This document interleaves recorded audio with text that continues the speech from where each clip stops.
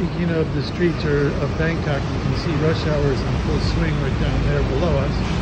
We're just coming down off of the four-story, maybe even five-story platform where the SkyTrain goes. And you can see this is a really good example of Bangkok traffic jams, especially during rush hour. It's about 7.30 in the morning now. And the uh, traffic can get pretty bad in this city.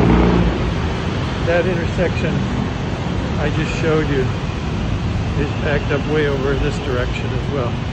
So thankfully we're not driving this morning, we're just gonna walk.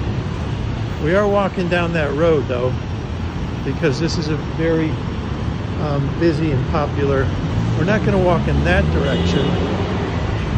Oh, there's one of the ho hotels. Oh no, that's a hospital, never mind. We're not gonna walk in that direction, we're gonna walk in this direction.